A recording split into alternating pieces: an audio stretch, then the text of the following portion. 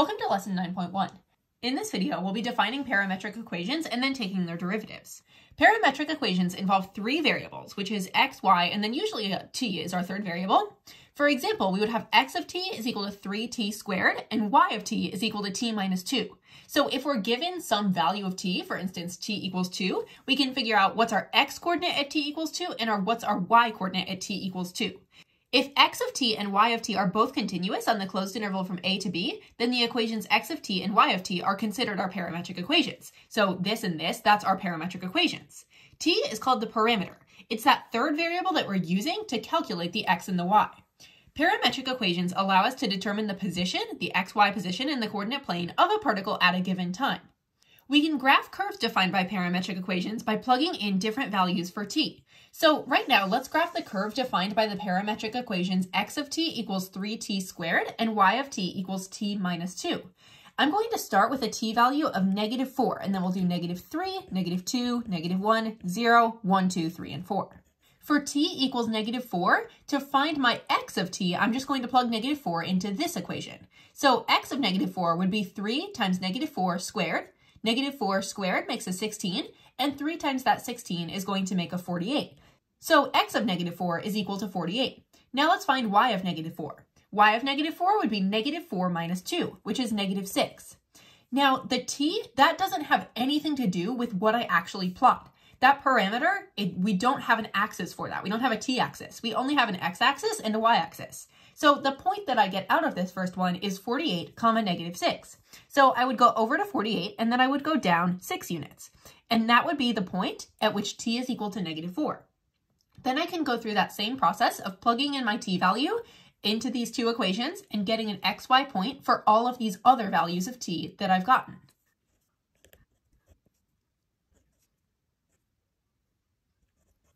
Now I can connect all of these dots to get a smooth curve. So this is how you graph a pair of parametric equations. Now, you can also graph parametric equations by using the graphing calculator. All that you need to do is switch the mode over to parametric mode.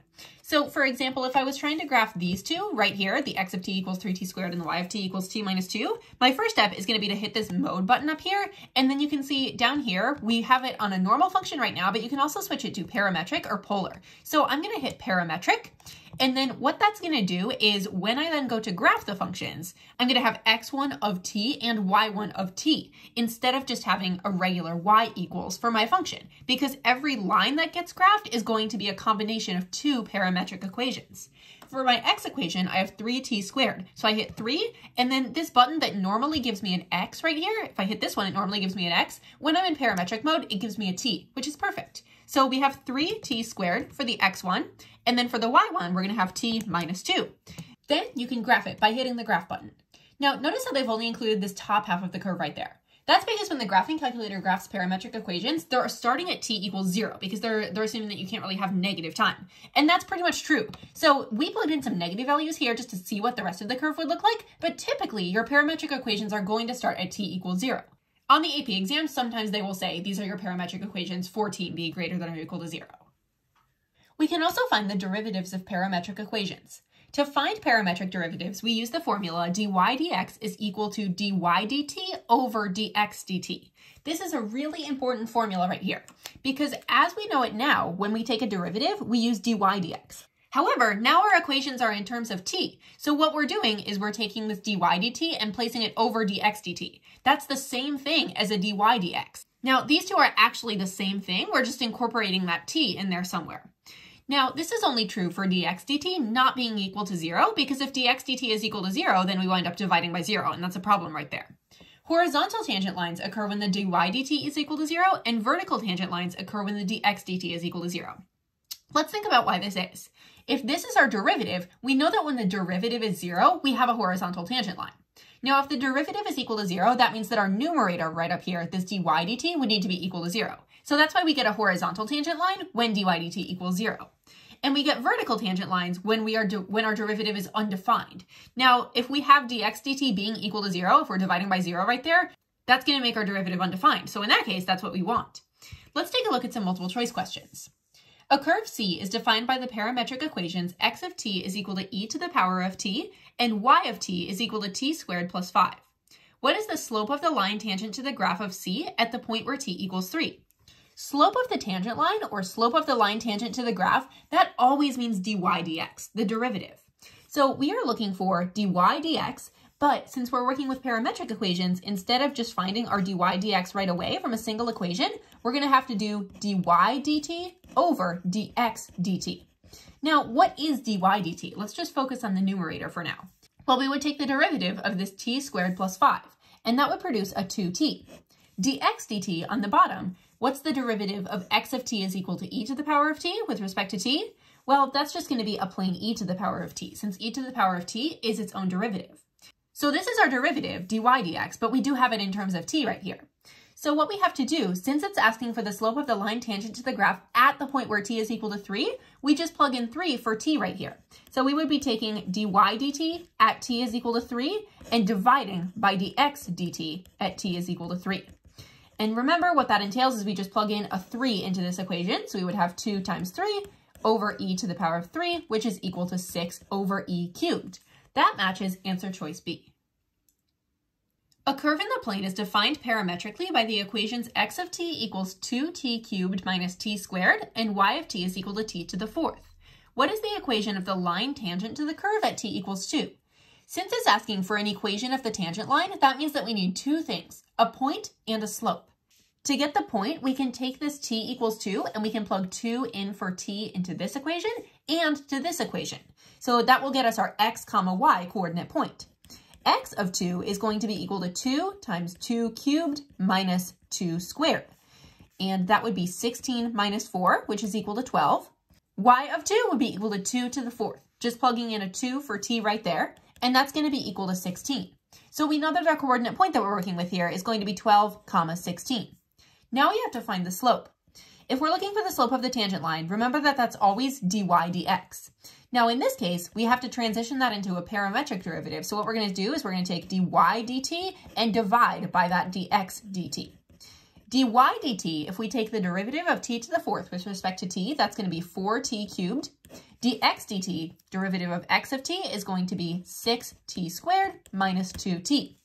Then if we find this derivative at the specific value t equals 2, if we find dy dx at t equals 2, that means that we're just going to plug in a 2 everywhere that we see a t up there. So we'd have 4 times 2 cubed over 6 times 2 squared minus 2 times 2. We can evaluate that, and that's going to turn out to be 32 divided by, let's see, 6 times 4 makes it 24, minus that 4 would just be a 20. 32 twentieths simplifies down into 16 tenths, or 8 fifths. So this is going to be our slope of the tangent line. So now we take this slope of m equals 8 fifths and the point of 12 comma 16, and we write an equation using those. So we take y minus y1, which in this case is y minus 16, is equal to m, 8 fifths, times x minus x1, or x minus 12.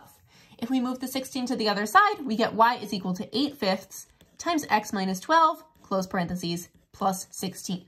This matches answer choice A. So this would be the equation of the line tangent to that curve that's defined by these parametric equations at t equals 2. A curve in the plane is defined parametrically by the equations x of t equals 5t and y of t equals t squared minus 1. What is the equation of the line tangent to the curve at t equals 1? Again, since we're looking for the equation of a tangent line, what we need is a point and a slope. To get the point, I'm going to plug in x of 1 and y of 1 to see what my x and y values will be x of 1 is going to be 5 times 1, which is equal to 5. y of 1, if we plug 1 into this equation, we would get 1 squared minus 1, which would be equal to 0. Then we have to find the slope of the tangent line, which is the derivative. In this case, we'll be taking dy dx, but really we're taking dy dt over dx dt because we have to be able to do this parametrically. And then if we're taking dy dt, the derivative of this equation with respect to t is going to be 2t.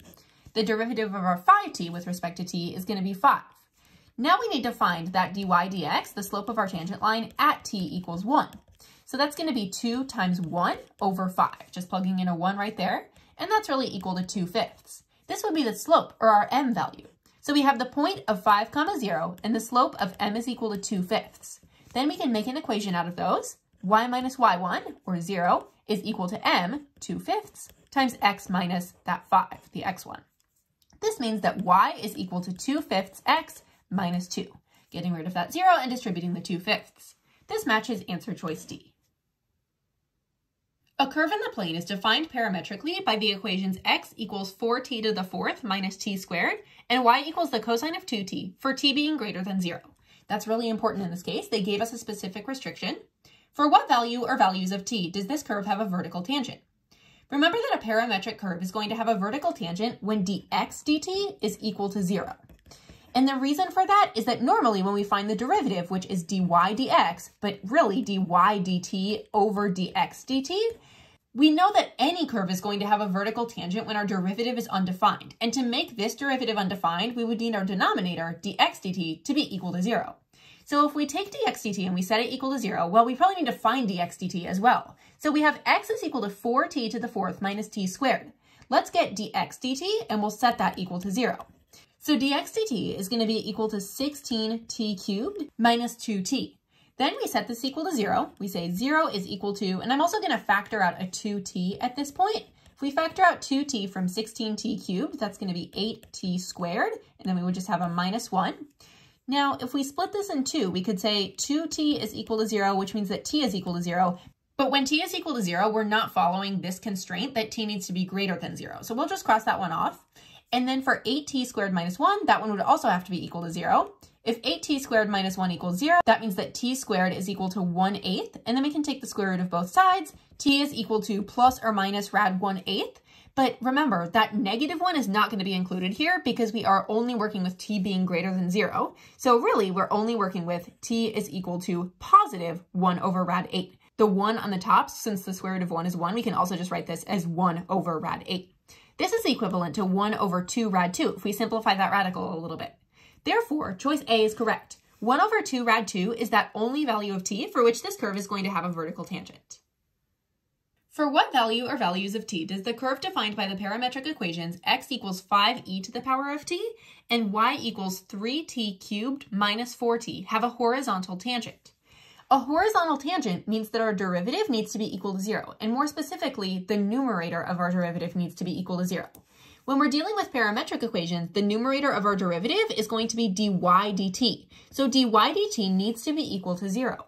In this case, dy dt is going to be equal to, and we can take the derivative of this equation to figure that out, that's going to be 9t squared minus 4. If this needs to be equal to 0, we would then get that 9t squared is equal to 4, t squared is equal to 4 ninths, and then we would have t is equal to plus or minus rad 4 over rad 9. That's going to be equal to plus or minus 2 thirds. Therefore, choice C is our correct answer. A curve C is defined by the parametric equations x of t equals 4 times the sine of t and y of t is equal to t cubed over 3.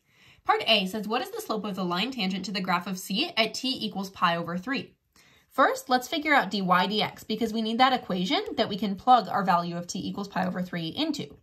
dy dx is really dy dt over dx dt. So if we can figure out those two individual portions, we'll be good. If we're trying to find dy dt, that's going to be the derivative of this equation right here. The derivative of t cubed over 3 with respect to t is going to make a t squared. Then for the denominator, we take the derivative of 4 times the sine of t.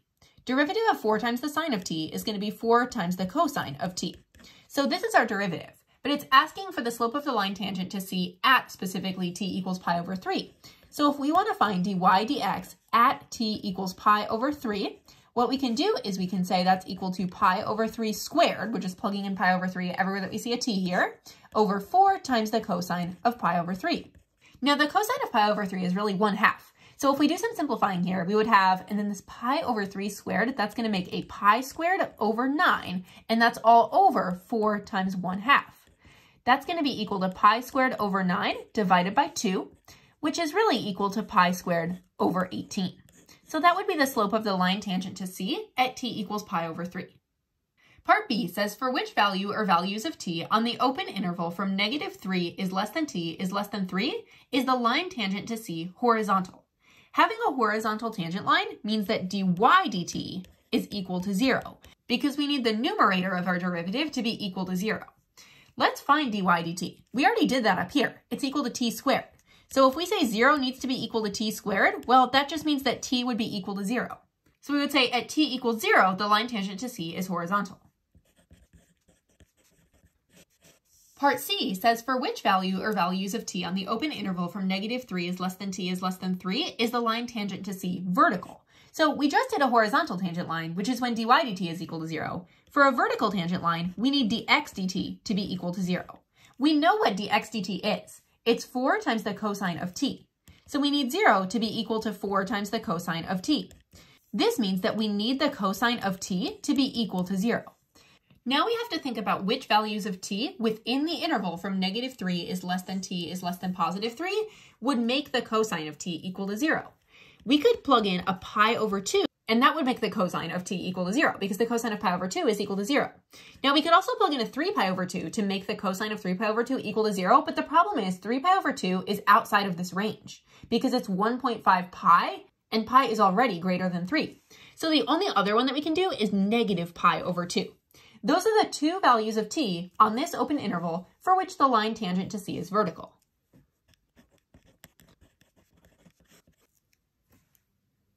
A particle moving along a curve in the xy plane is at position x of t, y of t at time t is greater than 0. The particle moves in such a way that dx dt is equal to the square root of 1 plus t squared, and dy dt is equal to the natural log of 2 plus t squared. At time t equals 4, the particle is at the point 1 comma 5. Part A says find the slope of the line tangent to the path of the particle at time t equals 4. Essentially what we're trying to do here is we're trying to find dy dx at t equals 4. However, since we're dealing with parametric equations here, we have to transition this over to dy dt over dx dt. And also, we're looking for this value specifically at t equals 4. So we're going to say dy dx at t equals 4 is equal to dy dt at t equals 4 divided by dx dt at t equals 4. Now we have access to the calculator for this problem. So what we can do, first I'm just gonna write out what I'm plugging in and then I'll be able to plug that into the calculator. So they gave us dy dt, it's the natural log of 2 plus t squared, so we just have to plug in a 4 for that t. So we would say that's equal to the natural log of 2 plus 4 squared, and then we would be dividing that by dx dt at t equals 4, which is the square root of 1 plus 4 squared. Then we can use the calculator to get an exact decimal answer for this problem. That would be equal to 0.701. So the slope of the line tangent to the path of the particle at time t equals 4 is 0.701.